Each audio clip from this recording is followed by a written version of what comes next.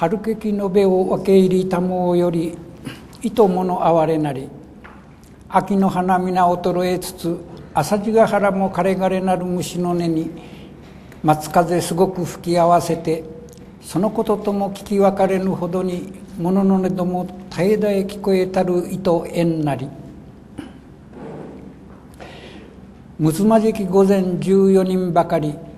水井人ことごとしき姿ならで糸を忍びたまえれど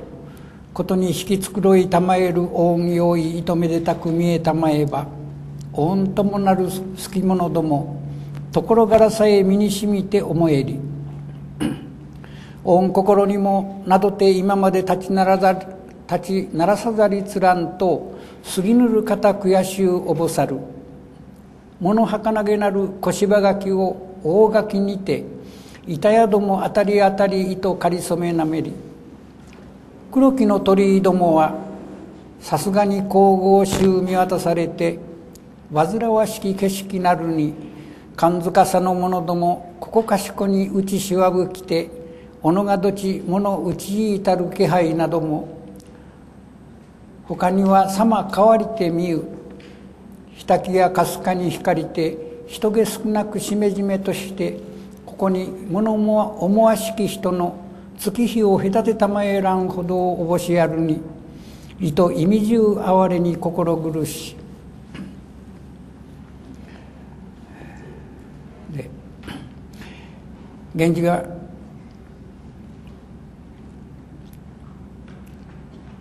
西宮とその母の宮安所のいられる野々宮をいよいよ訪ねていくところですね。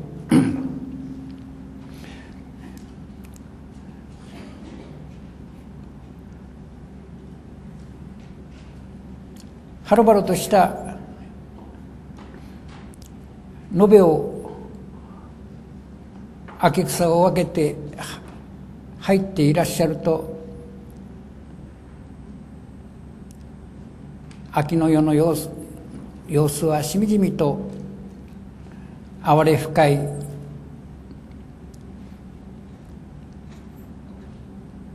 折から秋の花は皆衰え衰えして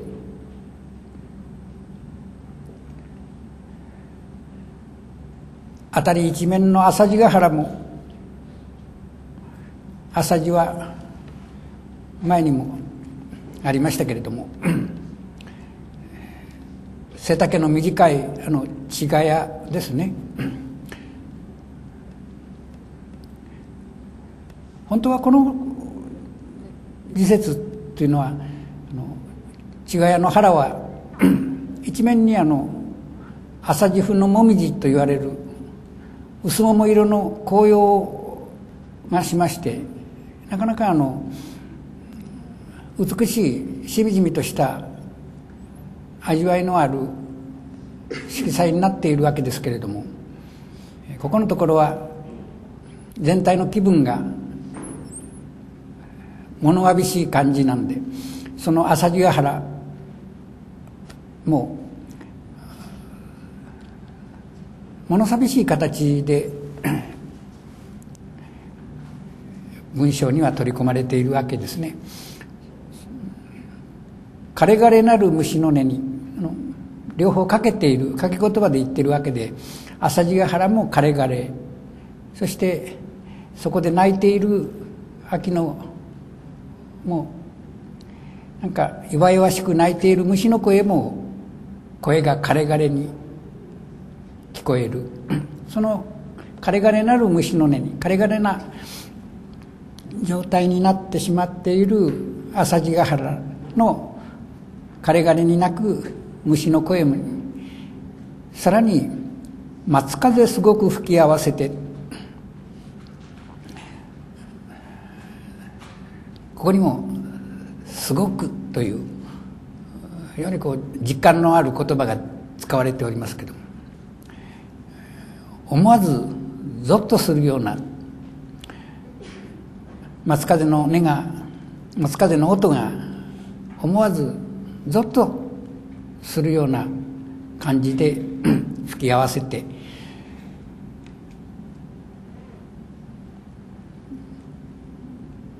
さらにそこへそのこととも聞き分かれぬほどに、えー、学の音がほんのかすかに混じって聞こえてくるわけですね。もののども絶え絶え聞こえたる楽器の楽器を調べる音が絶え絶えに聞こえてきているその様子が糸縁なり。その楽の音だけが大層絶え絶えだけれども華やかな感じを添えている。でそのこととも聞き分かれるほどにというのはあのまあいろいろ取りようがありましてその曲を演奏しているんだというふうに聞き分けられない程度にというふうに取る。取り方と。あるいはあの楽器の種類が何だというふうに聞き分けられない程度にというふうにまあ取る取り方とあるわけですがおそらくまあ一番いいのはそのこととその楽あの楽を演奏しているんだというふうにはっきりと聞き分けられない程度に楽器の奏でる音が絶え絶えに伝わってくる。その様子が体操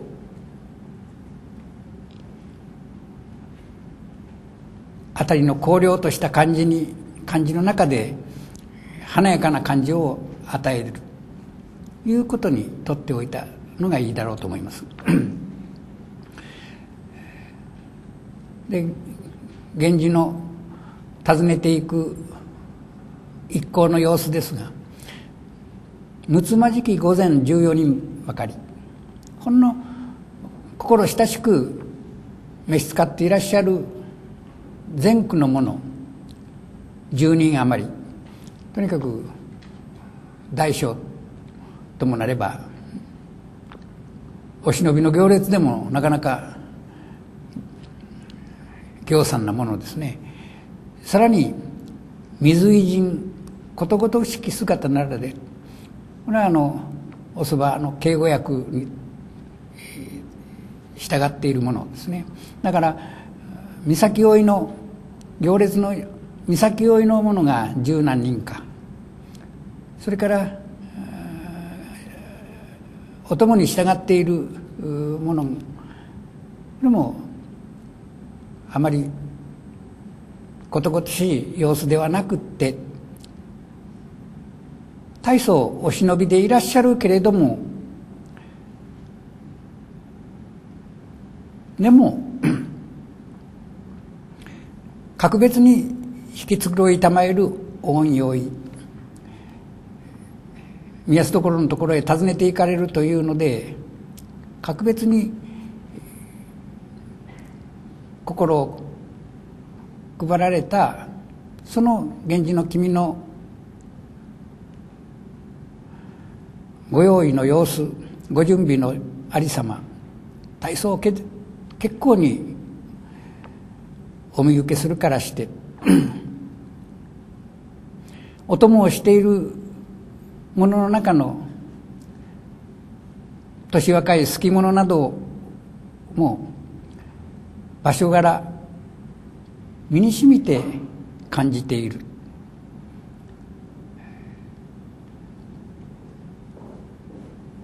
西宮のいらっしゃる野々宮そこへ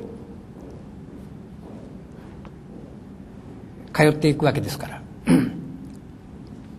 場所柄といい格別に身にしみて感じている。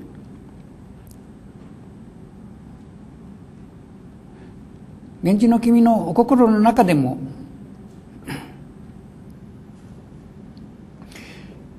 などって今まで立ちならさざりつらんどうして今までもっと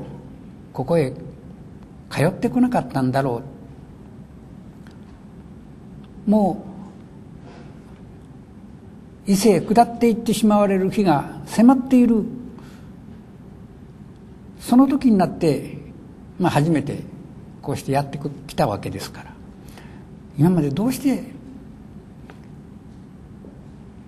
ここへもっと通ってこなかったんだろ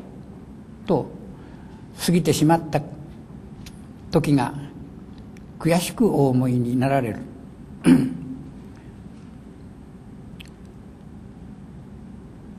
ちょっとしたいわゆる臨時の建物ですからそんなあの行産なしつらいはしていないわけで物はかなげなる小芝垣。ほんのちょっとした芝を束ねてそして作った小芝垣それを大垣にてその小芝垣を大垣っていうのは一番外回りを囲っている柿ですね、大垣として巡らしてそして、えー、板宿も板吹きの 建物などあたりあたり糸かりそめなめり。あちらもこちらも大層臨時の不信という感じである。黒木の鳥居どもはさすがに神々しゅう見渡されて、えー、黒木っていうのはあの皮のついたままの材木ですね。杉とかヒノキなんかを皮をむかないまま使った。黒木の鳥居とかあるいは黒木の御所とか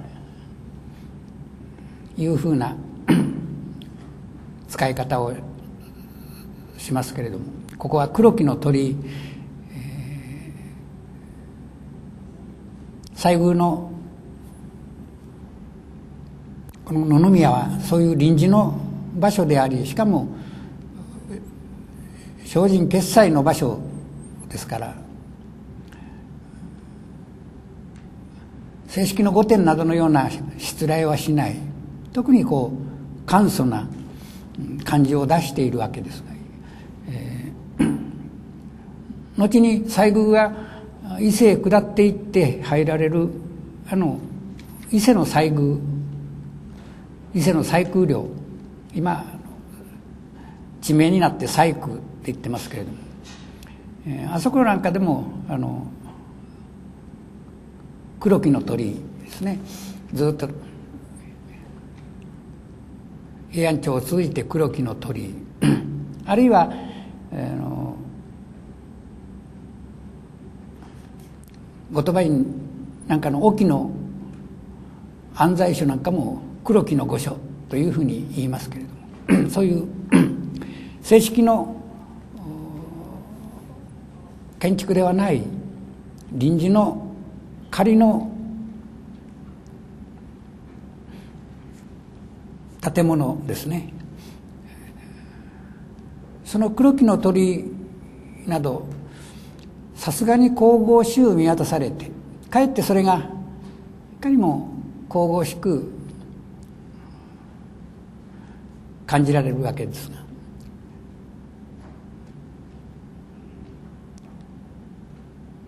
で煩わしき景色なるに。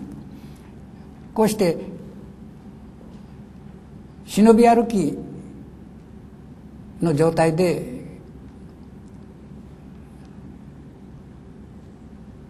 光源氏は来たわけですから。そういう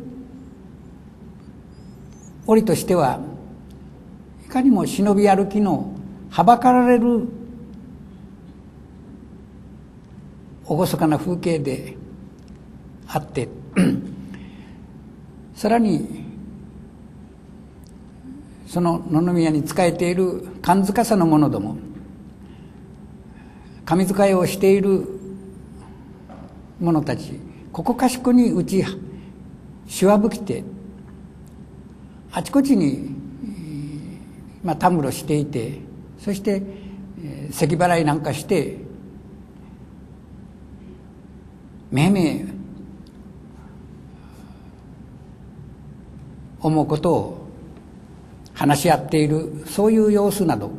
おそらく大きな声は立てないで少し声を低めて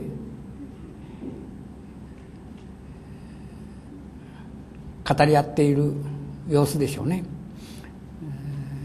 しかも時々しわ吹きなんかの音が印象的に聞こえるわけでしょう。他には様変わりてみゆ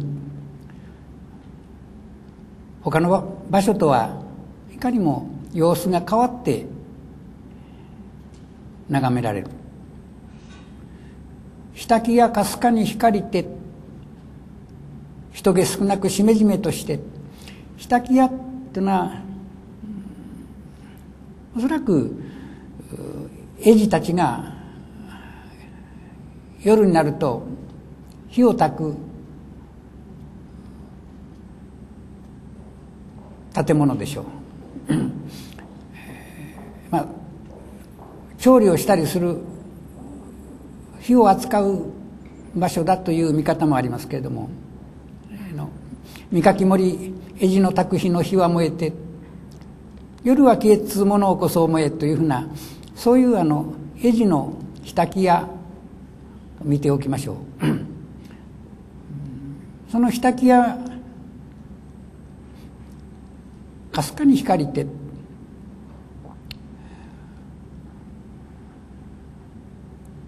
ぼーっと明るく感じられて辺りは人気少なくしめじめとして辺りの様子人の気配はなくてひっそりとした感じでここに物思わしき人の月日を隔てたまえらんほどにおぼしあるに意図意味中哀れに心苦し源氏の君がこういう野々宮の情景に、初めてしみじみと接したわけですね。そしてこんなところに